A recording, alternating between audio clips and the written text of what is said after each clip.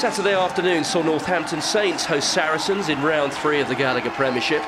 The Saints got their first win of the season last weekend under new director of rugby Chris Boyd and were looking to do the same against the defending champions. And they started the brighter, taking advantage of 14-man Saracens as Jamie George was sent to the sin bin. Piers Francis cutting a superb line before running in under the sticks to score.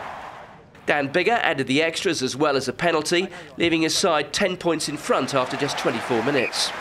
Saracens did respond as in-form wing Alex Lewington crossed, Ben Spencer the provider as he put a left-footed kick into acres of space and the wing showed fine pace before touching the ball down. The former London Irishman was added again shortly afterwards as he got his second score. Some fine hands from Alex Goode and Liam Williams set the wing clear as he dotted down to make it on honours even at half-time. Saracens got the perfect start in the second half. Spencer catching David Ribbans off guard as he darted over. The scrum half added the conversion and a further penalty making it 20 points to 10 to Mark McCall's side. But they were soon down to 14 men once again as Billy Vunipola was sent to the bin.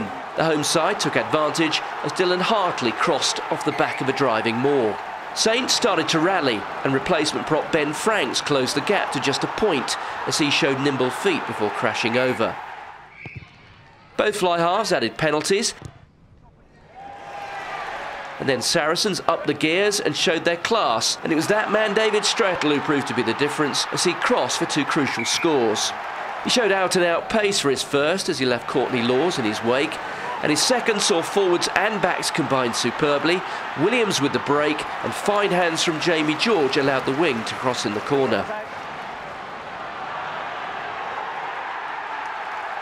So an impressive win for Mark McCall's side as they left victorious, 38 points to 27.